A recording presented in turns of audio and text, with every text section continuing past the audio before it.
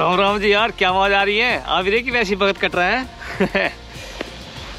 अब तो स्कूटी लेके निकलने लग गया हूँ। मैं इधर तो दो तीन घंटे की राइड पे सुबह सुबह ना मस्त बड़ा सही मज़ा सा आ जाता है। पर यार वो रहती है कि हेलमेट में ना सर में खुजली बहुत होती है। तो अगर ऐसे उल्टी टोपी पहन लो ना और ये हेलमेट लगा लो तो थोड़ा सा ठीक रहता है सिस्टम। अब तो सरकारी वरकारी काम करने आया था अभी। यहाँ का नारा का तो काम निपट गया। अब उल्टा जाऊँगा उषा का और फिर वहाँ के काम निपटा के रिलैक्स मारेंगे। भी हाँ देखो, ब्याह हो रहा है। फ़ोटो खींच रही है उनकी वहाँ।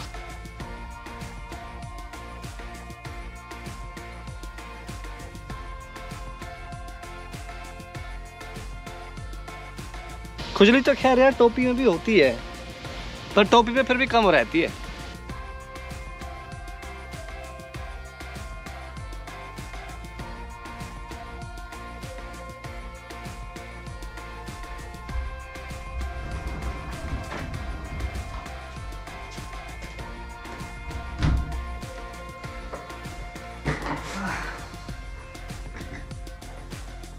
जॉब छोड़ने के बाद नारा से शिफ्ट तो करना था मुझे। अरे शिफ्टिंग बहुत दुखदाई होती है यार भगवान कसम।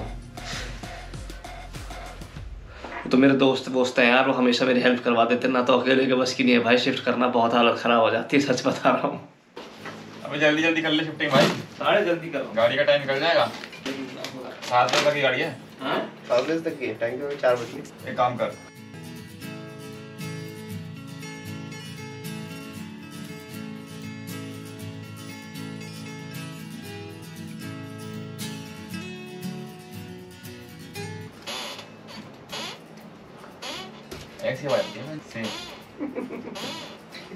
फनी है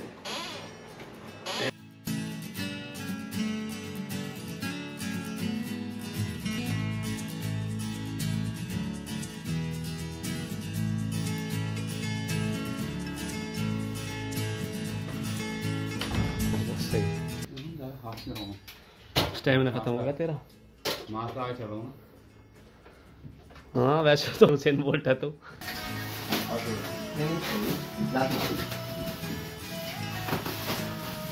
कर दिया वाला कर bye bye thank you very much बहुत है मैं जापान में चार साल से जॉब कर रहा हूँ। छुट्टी हो गई जॉब से। सैटरडे था सैटरडे भी वर्किंग था। वो तो खैर कोई दिक्कत नहीं है।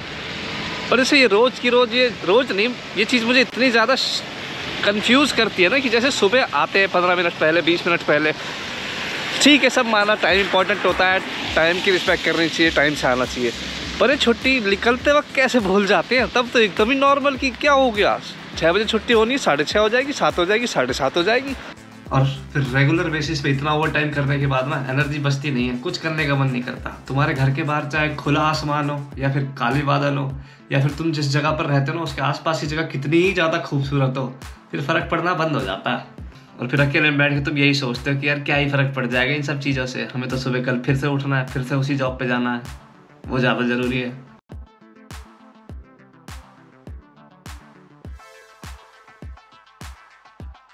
और ऐसा नहीं है कि मैं घूमने फिरने नहीं जाता। जितना भी टाइम मिलता है, उसमें जाते तो हैं ही। और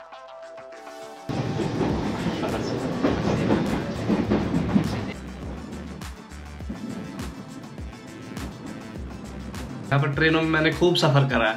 तो ट्रेन में क्या होता है, अपने स्टेशन से चढ़े और जो डेस्टिनेशन तुम्हारी वहाँ पर उतर गए, मस्त, बढ़िया, एकदम बहुत बढ़िया, अपनी डेस्टिनेशन में बहुत जल्दी पहुँच गए। पर क्या है, जो बीच का जो सफ़र होता है, वो उसमें फील नहीं होता, तुम पर खिड़की से बाहर देख सकते हो। वो सफ़र का मज़ा नहीं आता, क्योंकि वो कौन सी जगह से हम गए, क्या था, उस जगह पर क्या नहीं था। तो एक बंधा बंधा सा लगता है। अभी शहर के बीच में है तो रेड लाइट बत्ती बत्ती रहती है, उसमें कुछ दिखता तो है नहीं, कुछ खास। तो अभी थोड़ा सा शांत से एरिया में चला जाता हूँ, फिर आगे का व्यू व्यू लेंगे।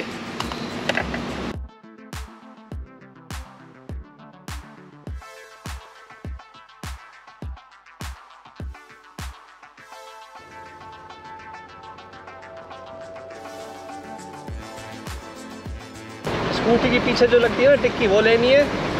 और, पहले तो मैकेनिक के पास जाना है ना। उसको स्कूटी दिखाऊँगा और बोलूँगा, भाई, इसमें चेक कर कि ये जाने लायक है भी या नहीं जाने लायक है थोड़ी दूर। कहीं वहाँ जाऊँ और बीच रास्ते बंद पड़ गई तो मैं क्या करूँगा? अरे, बत्ती होगी फिर क्या?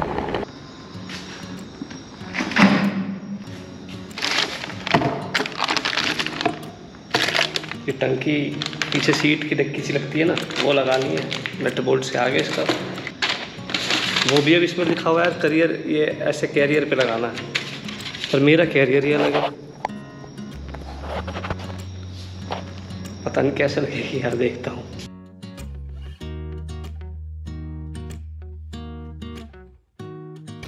जो डिक्की खुलती बंद होती है ना, उसके तो इतने सारे आठ इमेज बता रखी है। अब जो चीज़ लगानी है फिक्स करनी है, उसके सिर्फ़ एक, दो, तीन।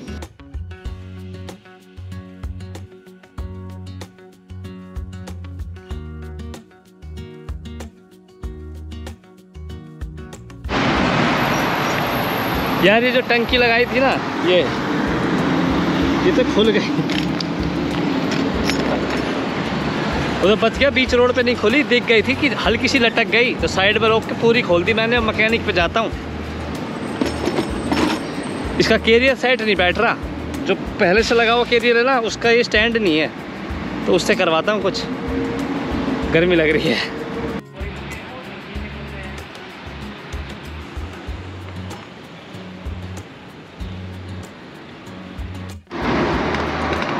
लक्की टंकी।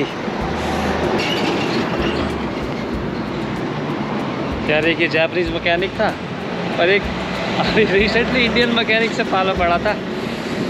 बिल्कुल ही मूड ख़राब कर दिया। तो यहाँ तो अच्छा है, सही लगा दिया। नहीं तो मैं कैसे टंकी लेके घर जाता? मेरा तो अजीब सा लग रहा था कि आज तो बेकार ही बाहर निकले। तो गर्मी लग रही बहुत कैडी पहले पानी वानी पी यार कॉम्बिनी से। ये डिक्की सी है, बहुत बढ़िया। वैसे इसमें सारा सामान आ जाता। है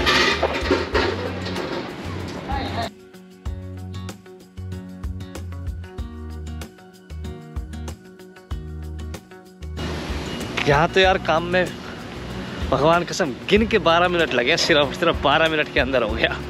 अब वापस ओसाका जाऊँगा, स्कूटी पे ही आया हूँ, आज तो बड़ा मज़ा आ रहा है। वापस जाऊँगा ओसाका, वहाँ पर थोड़ा लंबा काम है, वहाँ देखते कितना टाइम लगेगा। कई सारी चीज़ें करनी है वहाँ। आज तो राइडर हो रहे हैं तो वैसे ही। यार यहाँ तो डेढ़ घंटा लग गया, पर काम भी नहीं हुआ।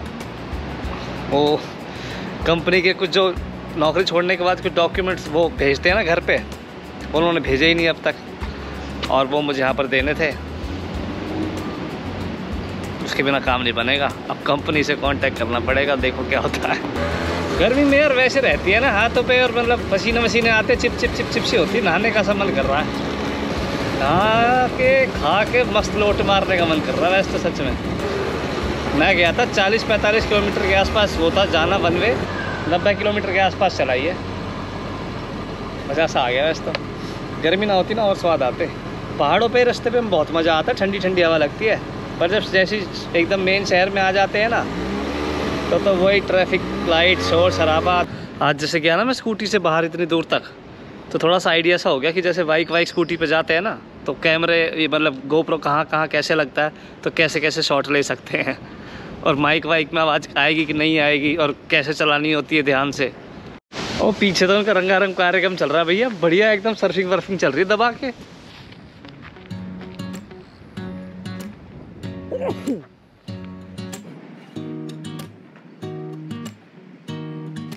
और ऐसा नहीं है कि मैं दोस्तों के साथ नहीं जाता, आप गाड़ी वाड़ी करके दोस्तों के साथ भी जाते हैं, पर उसमें ऐसा होता है कि हमेशा दोस्तों के साथ तुम्हारी छुट्टियों की टाइमिंग मैच हो, ज़रूरी नहीं है।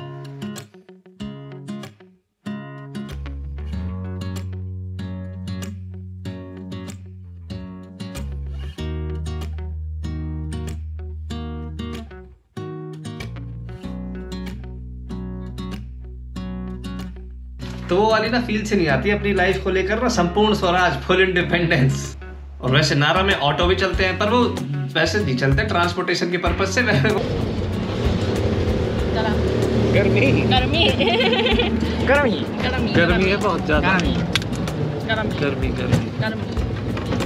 वो जॉय राइड होती है बीस मिनट तीस मिनट की जॉय राइड होती है। आसपास के जो म्यूज़ियम है आसपास के दो चार मंदिर है वो घुमा देते हैं और अपना छट्टी और बाइक का लाइसेंस मेरा आएगा अभी नवंबर, अक्टूबर के आसपास।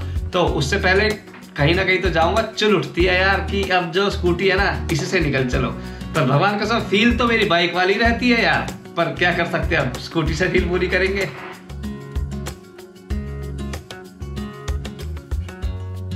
तो स्कूटी से छोटे मोटे टूर मारना चालू करूँगा। एनीवेज यार होप ये वीडियो अच्छी लगी होगी। जिन्होंने भी चैनल को सब्सक्राइब कर रखा है ना भाई, कसम से लीजिए, जैसे थैंक यू है। और जो नहीं कर रखा, आराम से कर लीजिए बाद में यार, कोई आफत ना आ रही है। अच्छा जी, फिर मिलेंगे। राम राम।